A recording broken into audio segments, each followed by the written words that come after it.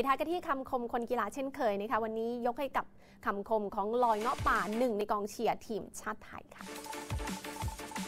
ได้รับเงินสนับสนุนกองเชียร์ 1 0 0 0 0 0 บาท ในรอบ 10 ปีนี้เป็นกองเชียร์มาปลื้มใจมากครับ นี่เป็นข้อความของสมพงษ์กาดแก้ว หรือว่าลอยเงาะป่า หนึ่งในสมาชิกกองเชียร์ทีมชาติไทย ที่ได้โพสต์แสดงความดีใจในโซเชียลมีเดีย หลังจากในงานอัดฉีดนักกีฬาซีเกมส์ที่ทำเนียบรัฐบาลเมื่อวานนี้